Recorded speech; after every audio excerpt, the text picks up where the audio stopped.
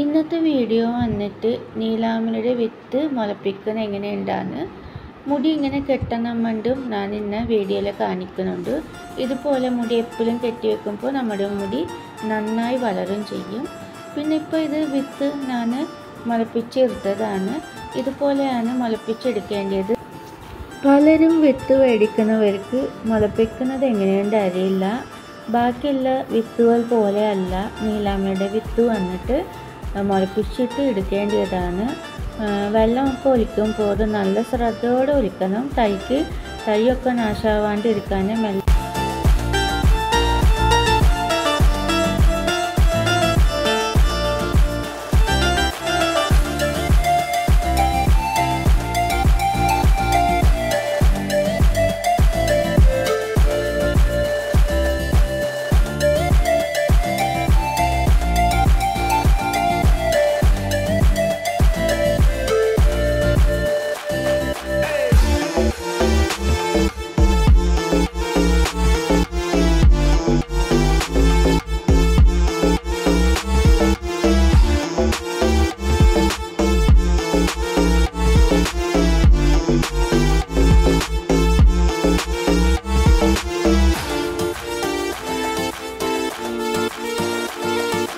Thank you.